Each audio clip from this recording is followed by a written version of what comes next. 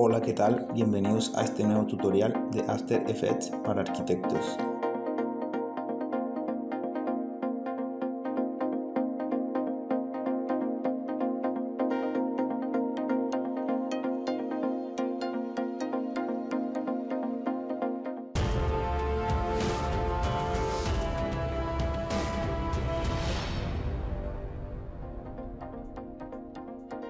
Nos encontramos aquí en Illustrator, nos vamos a archivo, nuevo y vamos a crear las dimensiones del documento, que en este caso serán de 1080 por 1080 píxeles. Le damos crear.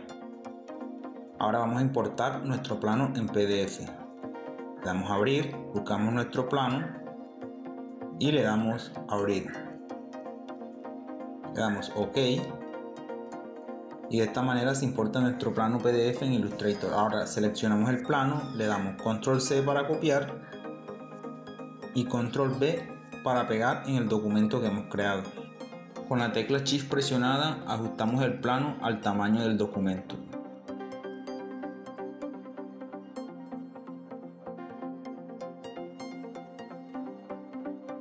Para desagrupar el plano lo seleccionamos nos vamos a propiedades y le damos liberar máscara y de esta manera quedan las líneas de forma independiente. Volvemos a hacer una selección al recuadro exterior y lo eliminamos. Ahora nos vamos a ver y desactivamos ajustar píxel.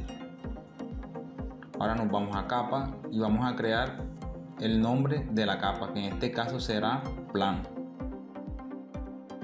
y creamos una nueva capa con el nombre de muros. Y procedemos a activar la herramienta pluma y nos vamos a propiedades para configurar sus valores. En este caso le daremos un grosor de 11 sin relleno. Procedemos a dibujar. Nos vamos al plano y creamos un primer punto en el centro del muro. Y con la tecla Shift presionada creamos el siguiente punto Presionamos la tecla P para cortar la línea y seguir creando los siguientes muros. Repetimos el proceso, creamos un primer punto y con la tecla Shift presionada creamos el siguiente punto. Volvemos a presionar la tecla P para cortar la línea y así sucesivamente vamos a crear los siguientes muros. Adelantaré la velocidad del video para realizar el proceso.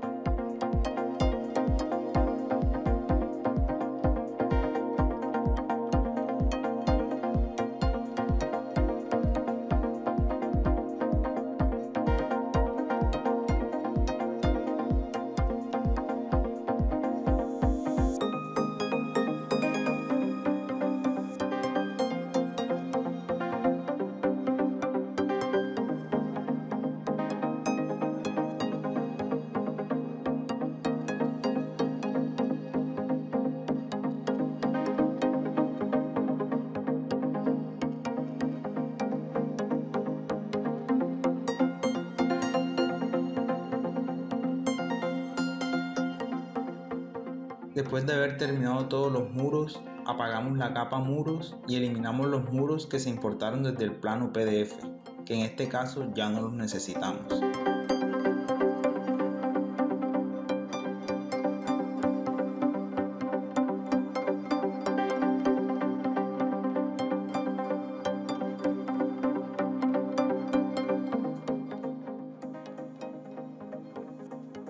Siguiente paso es crear las capas de cada mobiliario. Para ese proceso duplicaremos la capa plano, desactivamos la capa plano y con la capa plano copia seleccionada vamos a seleccionar un mobiliario. En este caso, el mobiliario de la mesa. Hacemos una selección, nos vamos a seleccionar y le damos invertir, luego suprimir. Y esta ya sería la capa mesa. Activamos la capa plano, desactivamos la capa mesa y eliminamos la mesa de la capa plano. Vamos a repetir el proceso con otro mobiliario. Duplicamos la capa plano, desactivamos la capa plano y con la capa plano copia seleccionada vamos a seleccionar un mobiliario. Hacemos la selección, para hacer una doble selección lo hacemos con la tecla Shift presionada. Nos vamos a seleccionar, le damos invertir y suprimir. Y esta sería la capa sofá. activamos la capa plano, desactivamos la capa sofá y eliminamos el sofá de la capa plano. Y así sucesivamente vamos a ir creando las capas de cada mobiliario. Para animar un mobiliario con diferentes elementos debemos crear una capa para cada elemento. En este caso tomaremos como ejemplo la mesa. Activamos solo la capa mesa y vamos a trabajar en ella. Seleccionamos las líneas que componen la silla y vemos que están desagrupadas. Seleccionamos la línea que compone la mesa y está agrupada. Para agrupar las líneas de la silla simplemente seleccionamos todas las líneas, le damos clic derecho, unir. Y para ajustar los puntos que están separados lo hacemos con la herramienta selección directa.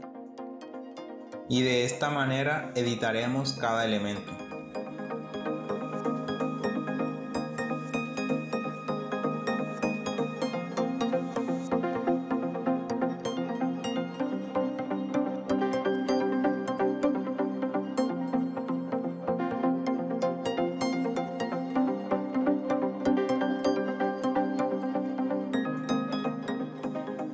Después de haber editado los puntos, definimos el trazo con valor de 1 y el relleno de color blanco.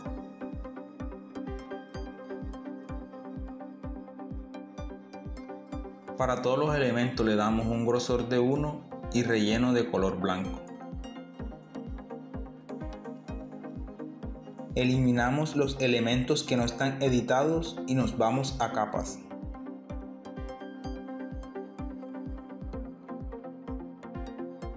Duplicamos la capa mesa y apagamos la nueva capa para eliminar el elemento silla.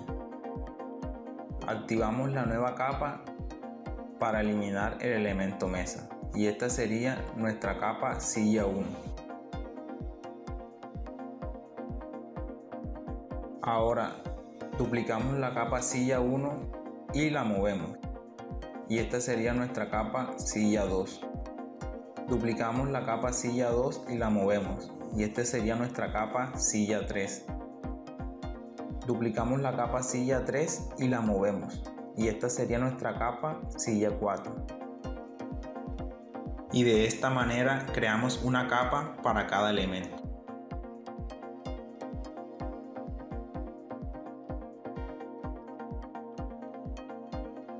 El otro método sería dejar el mobiliario en una sola capa. Abrimos la capa sofá y vemos que está compuesta por muchísimas líneas y se hace difícil aplicar un relleno. Para solucionar ese problema activamos la herramienta rectángulo y creamos un rectángulo. Le desactivamos el relleno y ajustamos el rectángulo al tamaño del mobiliario.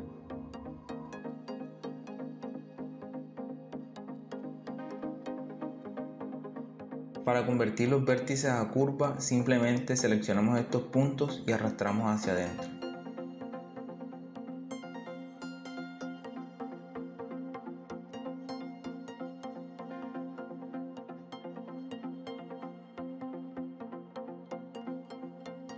Volvemos a aplicar el relleno y definimos el grosor con un valor de 1. Ahora nos vamos a capas y el último elemento que hemos creado lo ubicamos al final de todas las líneas.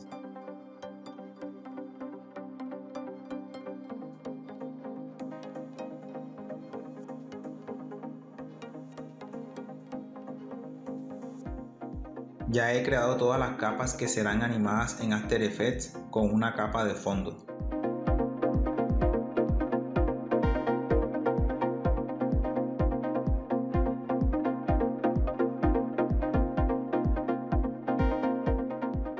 Luego de haber creado todas las capas, nos vamos a archivo, guardar como, definimos el nombre y le damos guardar. En el siguiente tutorial realizaremos el proceso de animación. Si tienes alguna duda, escríbela en la caja de comentarios.